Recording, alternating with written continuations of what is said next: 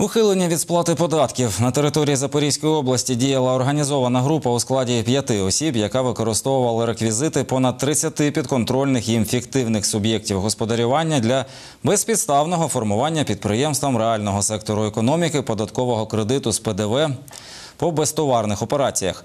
Продовж 15-17 років вони оформили неіснуючі операції для реальних суб'єктів господарювання на суму ПДВ понад 37 мільйонів гривень. Стосовно двох учасників групи обвинувальний акт було направлено до суду у червні минулого року.